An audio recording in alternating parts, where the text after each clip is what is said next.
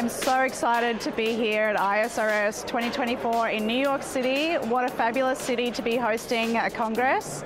You know, so many people from all around the world have attended. It's wonderful to see everybody and connect again. Uh, we had a great opening ceremony last night. It was wonderful to see our president, Mark, sing with his wife. That was an absolute highlight. And this morning, have Scott tell us all about his personal journey. That was absolutely wonderful. So uh, a great start and some interesting uh, keynote presentation this morning on AI and radiosurgery, so definitely something to look at in the future. Uh, but it's been wonderful so far and I look forward to the next couple of days as well. So every time you come to a Congress, you'll learn new things, which obviously all of us want to keep doing, both to stay interested and active in the field, but to keep educating and redefining our own uh, practices and improving patient outcomes. But obviously on the social side, it's always wonderful to connect with our international colleagues who we don't get to see a lot. Really helps build those relationships and maybe further education and research in the future. So two win-wins, always good to come. Every time we're always trying to get feedback from our membership to try and improve what we do in practice. So how can we redefine the congresses to keep it being relevant for our members? Because if the members aren't finding the content relevant, they're not going to keep coming. So we always do want to keep improving each time, make sure that the education sessions are relevant each time for our members. Uh, also looking to connect with the members outside of the Congress through webinars, other functions through the, the, the website particularly. Uh, and social media is becoming a bigger, a bigger way of connecting with our members as well. So we're always welcome to feedback because that keeps us relevant for our membership. I've been on the board now for I guess two years and uh, it's been a learning process, obviously learning about the different committees and now being a member of a number of different subcommittees as well.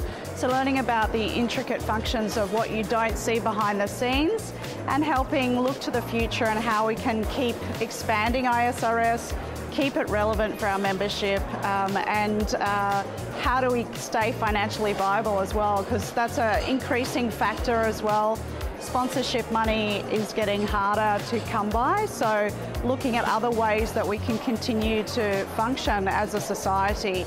Uh, and all of that's volunteer, so you know all of our board members are working hard in the background, uh, doing this often for me in Sydney, very late at night in my pajamas uh, trying to uh, keep moving forward and keep redefining things for our membership. So I'm very, very honoured to be appointed as the treasurer, and uh, you know that's that's fantastic. It's such an honour to continue to be a part of the board and help in any way I can. Um, obviously very lucky to be supported by a great group of people behind me who will be really helping me in that role. Uh, but I'm hoping to see ongoing uh, support uh, with the board and the officers over many years to come. Look, I mean, how else do we connect with our colleagues internationally, we learn from each other and then obviously also trying to bring that knowledge locally back to our own practices and maybe our junior team because you know none of us are going to be here forever. So how do we succession plan for the next generation? And we do need to engage younger clinicians, students, trainee, uh, specialists as well to keep building that future for everybody.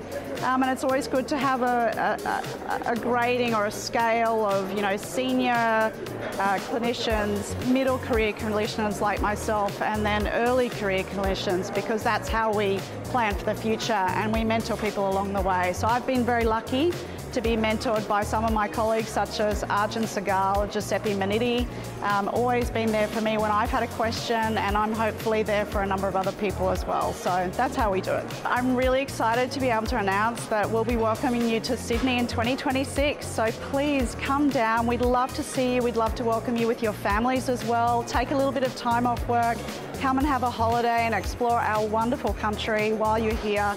But in Sydney, Harbour City, absolute highlight. We'll have a fantastic program for you and please come aboard. It's a wonderful place. We're very lucky to be supported by multiple different techniques. So we have both extensive LINAC SRS experience in Australia, but also gamma knife surgery and CyberKnife. Uh, we have lots of intracranial and extracranial specialists in Australia. We're rapidly expanding in the field, also in MR LINAC. So there's certainly a lot of opportunities for researchers, for presenters, um, but also for new connections with international colleagues and Australians.